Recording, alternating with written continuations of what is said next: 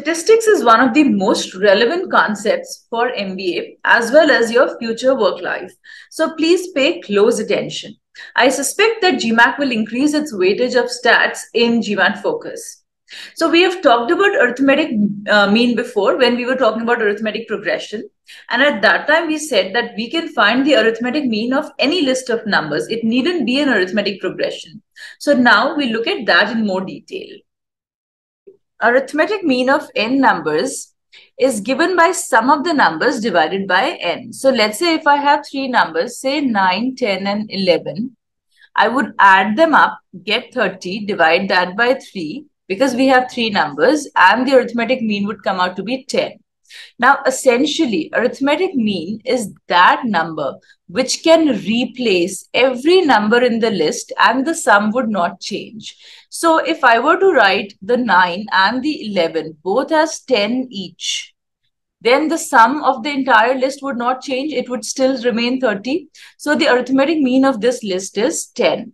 For example, let's say I have 8, 9 and 13. Here also, if I write each one of these numbers as 10, I still get the entire sum as 30 in both the cases. The sum has not changed. So the arithmetic mean of this list of numbers is 10. Now, let's say I have this list 8, 9 and 13 and I add another number to this list 10. Has the arithmetic mean changed now? Well, you know, as we discussed, that the arithmetic mean of this entire list, 8, 9, and 13, is 10. That means we can write each one of these as 10. Now, if I add one more 10 to the list, of course, the arithmetic mean should not change because each number is equivalent to 10 in this list as well. So the arithmetic mean over here will also be 10. All right. So now I have the list as 8, 9, 13, 10. And let me add a number 15 over here. Well, arithmetic mean has certainly changed now. I cannot write all of them as 10 because if I were to add, I know that the arithmetic mean of these numbers is 10. And if I were to add another number at 10, then the mean would stay the same. But I have not added a 10. I have added a 15 over here. So I have added an extra 5. So how does the arithmetic mean change? Look, so whatever I add has to be equally distributed among all the members because we basically want to make every member the same. So since every member was 10 initially, if I had added 10, nothing would change, mean would stay at 10. But I have added an additional 5 this additional 5 goes to each one of these 5 members as a plus 1 each one of these five members gets a plus one and then the arithmetic mean becomes 11 because then effectively every member becomes 11 because when this new number came in it came in with an extra 5 and that that 5 got distributed among the five numbers that we have now. And that is why the arithmetic mean increased by 1 and it became 11 now am is 11 now you know, we can very well use the uh, formula over here, the sum of the values upon the number of values to uh, solve our questions. But this concept of understanding that arithmetic mean is a number that replaces every number without changing the sum um, is very useful in certain questions. We uh, are able to reduce our calculations by a whole lot. Uh, we'll just take some examples shortly. Uh, first, let's take some simple examples. The average age of a group of n people is 18 years. So what this tells me is that there is a group of people, all of them are 18 effectively, not they are not 18. Some one could be 10, another could be 28. We don't know. But effectively, all of them are 18. And how many are there? They are n people. One more person age 42 joins the group. Now, look, if this person, new person joining in, had been 18, then the arithmetic mean would not have changed. But he is 42. 42 is 24 extra. So he came in with an extra 24. And the new average becomes 20 years. What happened because of this? Because of this plus 2, 4. Everyone got an extra plus 2 everyone got an extra plus two, including the new person who was coming in, because the new average became 20. Since there was an extra 24 that he had come in with and he was able to give 2 to everyone including himself then how many people must there would have uh, been there? 24 by 2 that is 12 there would have been 12 people then including him. So this means that initially we had 11 people this one person came he came in at plus 24 that is 18 plus 24 he had an extra 24 to give. So he gave 2 to everyone including to himself as well and that is why the average became 20 so initially we had 11 people and then when the person joined we had 12 people. So what is the value of n? Since n is the number of people we had initially n must be equal to 11 now, sure enough, you can solve this using the formula as well. Uh, the average age of a group of n people is 18 years. So that gives us a sum of 18n. And one more person joins in. So the sum becomes 18n uh, plus 42. And the new average becomes 20. So this is the new sum. And the new number of people is n plus 1 because one more person has come. So n plus 1. And this is equal to 20. Yeah, now we can solve this uh, equation and get the value of n. You know, you might feel that this is a little easier as of now. You might feel that, well, you don't have to think too much in it. Uh, the calculations is, I mean, aren't that much either in this, but then we'll see a little bit later that the calculations can get pretty intensive and this if we do understand this concept it helps us solve the questions very very quickly and orally. I mean we don't have to write all this down right? I just say to myself 18 18 18 fine. 42 that means 24 extra. And he gave 2 to everyone that means 12 people. So basically we had 11 people before. So in any case let's go on to the next example the average revenue of a group of six corporations is 121. So we know we have six corporations and their average is 121 each. Okay. So let's say that effectively they are have an uh, they have a revenue of 121 each. When XYZ leaves the group, so let's say one of them leaves the group, the average revenue reduces to 110 million. Now, had the XYZ's revenue been 121 itself, then there would have been no change in the arithmetic mean of the rest of the people, right? But since the person leaving reduced the revenue, the corporation leaving reduced the average revenue to 110, what does this mean? That when this number went away, whatever this number is, the this is the XYZ's revenue. When this person went away, it took away with it an 11 from each one of the other five entities. Because it had given 11 to each one of the other five entities.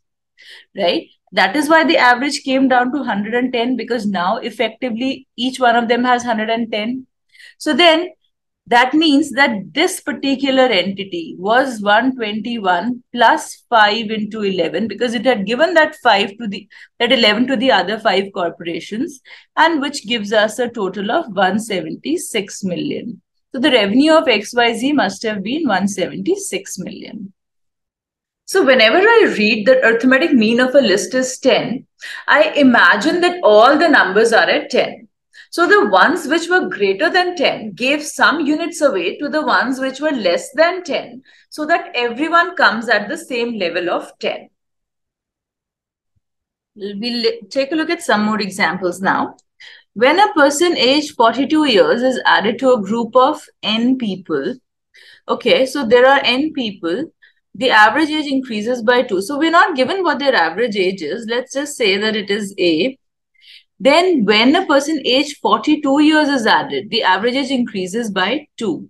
So the average age becomes A plus 2, A plus 2, A plus 2. That is, I can write the age of everyone as A plus 2 when a person aged 42 is added here. And now the average age has become A plus 2 for all of them. The number of people has become N plus 1. But if a person aged 15 years is added instead, so not this guy, if it is instead 15, then the um, average age decreases by 1. So instead of A, it becomes A minus 1. Of course, we'll still have N plus 1 people because we're talking about replacing this person from 42 to 15. So then the average age becomes A minus 1. This is when the person added was 15 years old. What is the value of n? Now look, if the person added in when we have n plus people was at 15 years, the average was A minus 1. But when this person's weight from 15, let's assume it went up to 42, that is an increase of 27, then the average went up from A minus 1 to A plus 2, from A minus 1 to A plus 2, A minus 1 to A plus 2, which is a, plus 3. That is the average increased by 3 when this same person's uh, age went up from 15 to 42. Why are we saying same persons? Because we can just assume since we are replacing this person's one, the extra person that we are adding. So we are saying that if this person were 15, then the average would be A minus 1. But if this person were 42, that is, if he had brought in a plus 27 years with him, then the average age would have increased by 3 for everyone, including himself as well which means that this 27 must have been divided by 3. That is, there must have been 9 n plus 1 people. That is, that if there were 9 people, then an increase of 27 years would be equally divided among all the people and everyone would get a plus 3 in their age. And that's exactly what happens. So this means that n plus 1 is 9 and that means that n is equal to 8. All right, we can do it via formula as well. Mm -hmm. When a person age for a group of n people, let's say n a is the total sum, n the number of people, and a the previous average. Uh, when a now aged 42 is added, the average increases by 2. This is divided by n plus 1 and the average becomes a plus 2. We are assuming that this is the initial average and we're uh, in, uh, assuming that this is the initial number of people. All right. Then in the second case, we would say NA plus 15 upon n plus 1 would give us a minus 1.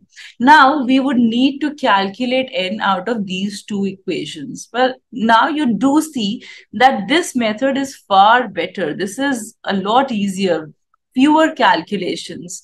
Uh, but of course, it does require some innovative thinking. So if you do get comfortable with that method, this will be awesome. You don't have to do all these calculations and we try to avoid calculations as much as possible. But if it just seems too tedious, well, you can very well just stick to it. In case you're unable to think in the in these terms, you can just stick to this also.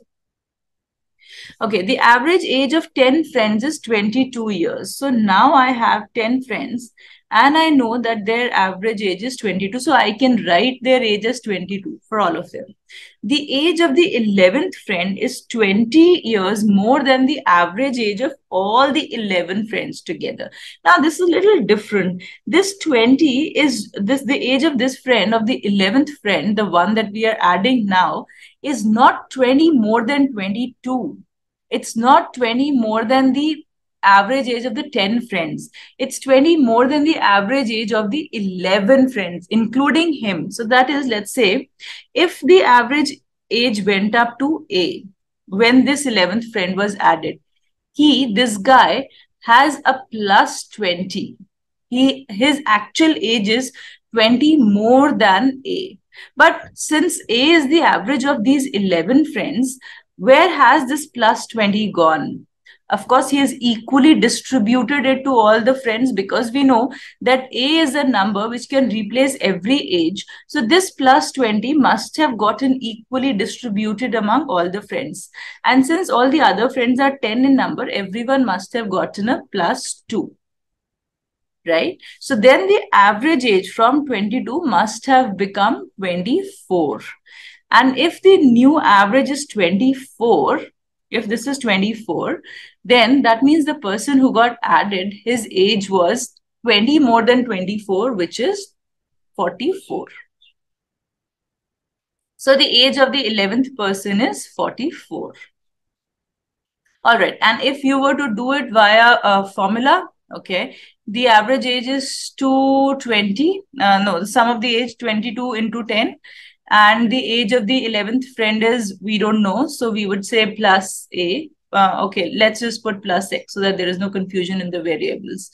All right, so plus x now divided by 11 right? This will be the new average. Is 20 more than the average age of all the friends together? So plus 20 will give us x. Make sense? Because this is the new average and plus 20 is the age of the person who was added, which, is, which we assumed is x. x is the age of added person. So we could have done it this way as well needless to say, we prefer the uh, more simple, I mean, uh, from our perspective, this we prefer this method because there are no calculations involved. But then again, please don't worry. If it's if this doesn't seem very intuitive, you can go ahead and use the formula also. Okay, let's look at arithmetic mean of consecutive integers. You know, so this is a topic which we've already covered in algebra. We discussed arithmetic mean of consecutive integers when we were talking about arithmetic, arithmetic mean in case of uh, arithmetic progressions. So we won't spend too much time on this. I'll just remind you very quickly that in case we have consecutive integers, for example, 3, 4, 5, 6, 7, the average over here is the middle number, so 5, because it's an arithmetic progression. So arithmetic mean will be found right at the center. Now, if I add another integer to the right over here, the arithmetic mean will increase by 0.5 and it will become 5.5. But instead of adding this 8, if I were to add a number to the left extreme, that is 2, then the arithmetic mean would have decreased by 0.5 and would have become 4.5 and so on. Anyway, this myth, this uh, concept has been discussed in detail in our algebra video. So do check it out over there.